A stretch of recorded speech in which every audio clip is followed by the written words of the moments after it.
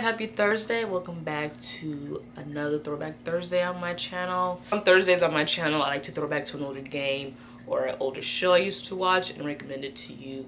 And this week i'm going to be talking about baton kaiton origins or baton kaiton origins.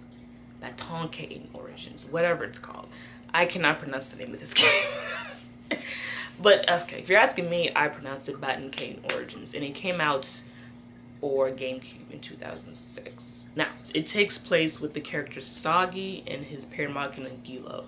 And in the intro of the story, you are in the Dark Service Army, and you are told by your by the captain at the time to kill the Emperor. So it's not something Sagi wants to do. In fact, he's in the Dark Service just to get the money so he can send it to his mom. But he knows he has to fight dirt. He knows he has to do dirty work, so he pretty much just says okay. So he goes to the Emperor's palace with the with the Dark Service army, and they're told they tell Sagi and Guillo to go into the room first, and then they will follow, and then they will kill the Emperor together. So when they walk into the door, they hear something. They hear a noise inside. They hear someone that's talking to the Emperor. They're like, "Oh, who's who's that?" And then before they walk in, the person leaves the room. He's, he just walks out. He's just like, oh, excuse me, and just leaves. And when they walk in, they find out that the Emperor's dead. And they know that the person who left the room killed him. But that's when the Dark Service barges in the room and basically they found out they were being set up by the army because they're like, oh, you killed the emperor, this isn't right, we told you not to do it. So basically they found out they were being set up by the army to kill the emperor for some reason, for some, some ulterior motive. But they're basically being blamed and labeled as traitors for killing the emperor. And they escape from the palace, and as they're escaping, they find out that the army is looking for them so they can take them back and they can be killed. The murder of the emperor. Obviously this is not good, and they found out that they were being used the whole time, so they make a plan to basically make a beeline for the door, get on a, a, a boat of some sort so they can go back home.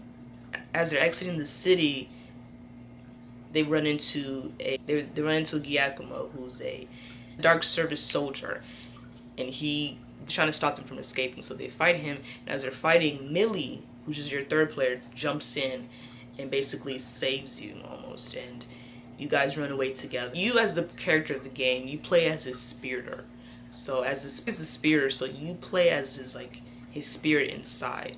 So only Sagi can hear your voice, but you can hear everyone else's and you're interacting with everyone in the game. But Sagi's the only one that can hear your voice, and you have to make sure you're you you're on the same page with them and give them good advice because how your relationship and how you communicate affects how you battle together, the story, and how you overall communicate. So to make sure you and Sagi are always on the same page.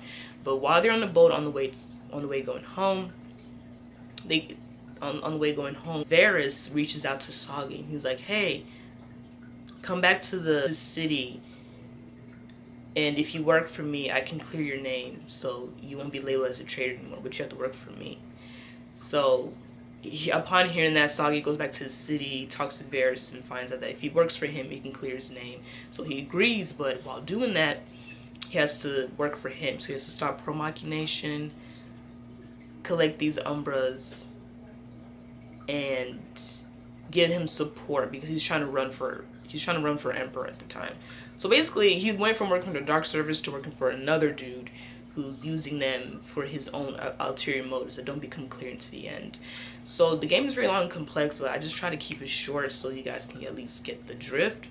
But when you play the game, it makes sense. This game is actually the sequel to the game that came out before which is called Baten Kaitos Eternal Wings in the Lost Ocean. That came out in 2004 for GameCube. And in my opinion, that game has better graphics than this game it has some some quirks in the game that I, am not a fan of, but I played that game too and beat it, and that story is really good. That game also got high reviews for best GameCube game at the time. And then when this game came out, it came out in 2006, Baton Kaiton Origin 2006 for GameCube. It was labeled as the last greatest gem for GameCube. It was like that good of a game. So yeah, both games are really good. I enjoyed the first one that came out, but this game, this the Origins of the game I'm talking about, this game takes place before the first game came out, if that makes sense. So you, by playing this game, you find out what the story behind the first one, who Malpercio is, where these characters came from, and Kalas's story. But yeah, I enjoyed the first game.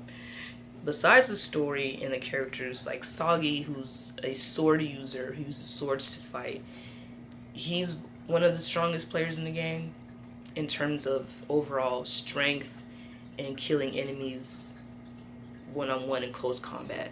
And then you fight with Guillo, and she uses magic to fight. Now, it's not really clear if Guillo is a man or a woman, but she speaks with two voices. I like to say she because she kind of like acts feminine.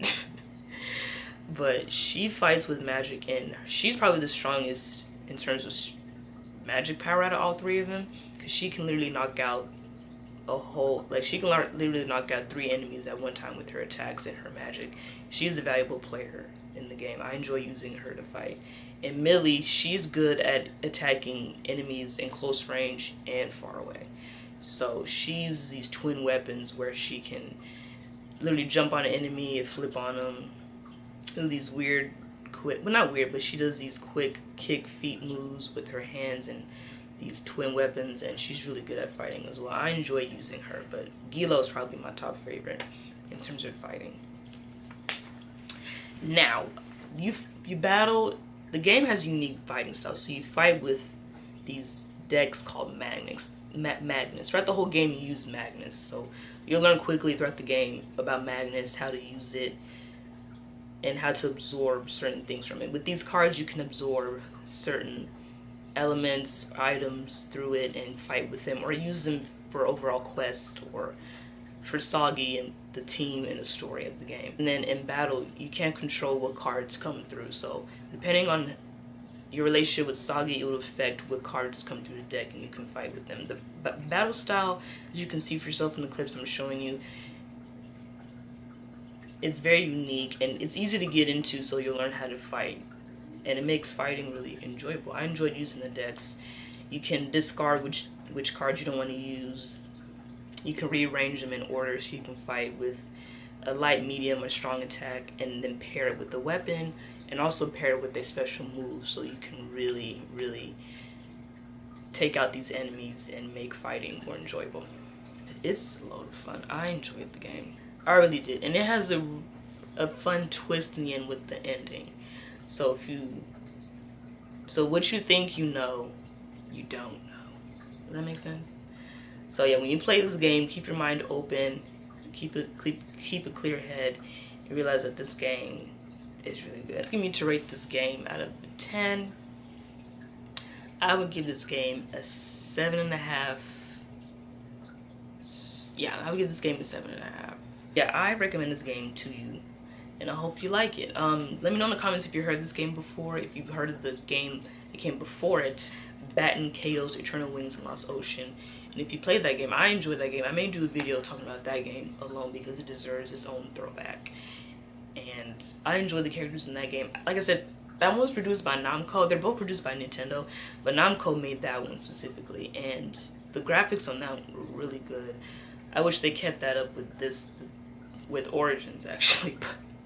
overall the game was good. I, I, have, I have no complaints. Yeah let me know in the comments if you heard this game or if you want to go check it out or if you thought this game was good or not. And that's the end of the video. So thanks for tuning in. If you made it this far um, I post every I post videos every Thursday and Sundays on my channel. Come check me out on my social medias. I post uh, video games and etc etc on there. So if you want to follow me on there and keep up the conversation let's do it. So Thanks so much for watching the video. Hope you enjoyed. Don't forget to play a video game, and I'll see you next time for another video.